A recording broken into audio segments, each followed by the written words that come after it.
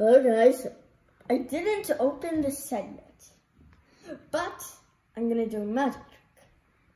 Abracadabra. Done. That was easy.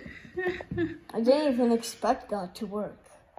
Well, but still, it's the same thing on the box. Good thing the magic trick followed the instructions.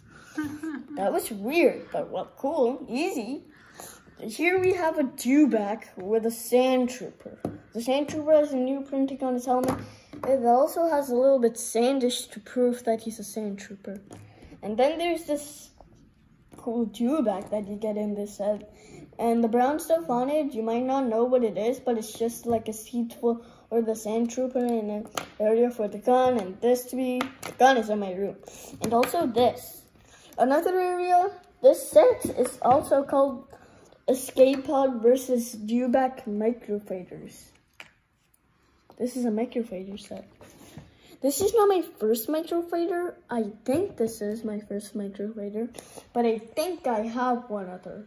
Uh, I just don't remember what it is.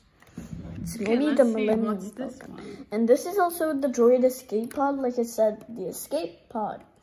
But it's I call it the Droid Escape Pod because there are a bunch of droids on it. R2D2 and C3PO, huh? C3PO. Okay, I didn't see that over there. And also Sand Trooper. I yeah, Sand Trooper. This is a Sand Trooper. I was I I think I was right. I I just thought I didn't see that.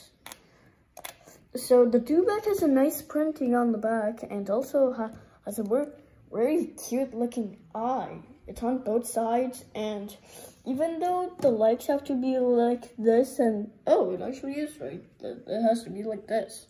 But on the, the map it showed them being like this and like this. Well I don't know, I did right.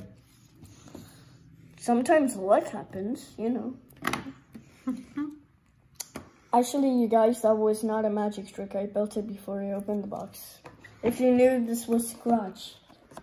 So that makes a proof that it was opened. Thank If you knew that, you're smart. I'm just saying you're smart. If you knew mm. that. Okay, thank you so much. Subscribe and see other videos, and that was not a magic trick.